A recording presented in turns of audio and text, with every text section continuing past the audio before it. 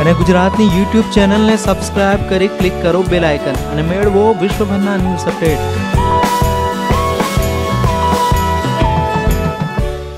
સુરતના અડાજણ વિસ્તારમાં આવેલ પાલનપોર જકાતનાકા નજીકની વિવેકાનંદ ટાઉનશીપમાં વીજ પુરવઠો બંધ કરવામાં આવ્યો હતો. જોકે સોસાયટીના રહીશોના અંડરગ્રાઉન્ડ વાયરિંગ નાખવા બાબતે વીજ કંપનીએ અગાઉ નોટિસ મારફતે જણાવ્યું હતું. પરંતુ કોઈ જ પ્રકારની જાણ કર્યા વગર શુક્રવારના રોજ અચાનક જોડાણ કાપી નાખવામાં આવ્યું હતું. જેના કારણે સોસાયટીમાં રહેતા પાંચસો પરિવારના બે હજારથી વધુ લોકો વીજ પુરવઠાના અભાવે મુશ્કેલીમાં મુકાયા હતા.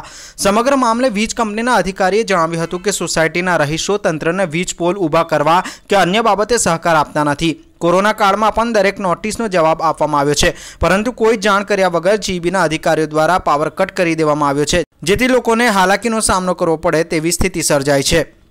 હમણાં ડીજીવીસીએલ તરફથી અમારા સોસાયટીની અંદર જીઈબીનું જે કનેક્શન છે તે ફ્યુઝ કાઢી નાખ્યા છે.